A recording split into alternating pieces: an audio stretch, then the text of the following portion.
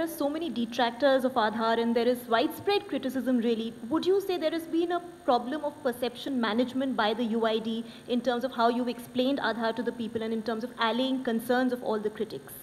You see, you know, Aadhaar is based on the technology.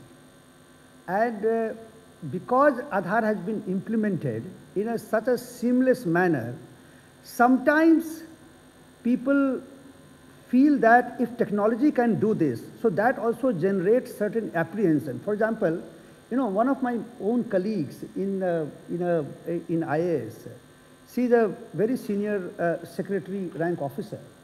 And one day she rang me up and you said, Ki Ajay, I had gone to get my SIM card. And I gave my Aadhaar number and put my fingerprint. You know, my photograph and all other details appeared in a split second. Where did he get that information? I said, from UIDAI.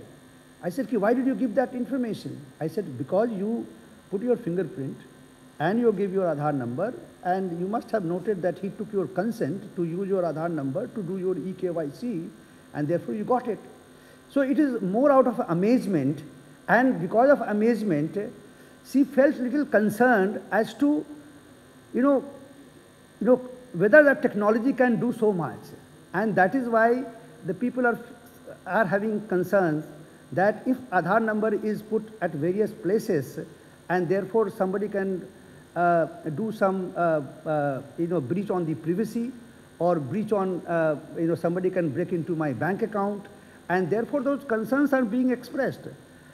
So largely, yes, people will have to be made more and more aware that what Aadhaar has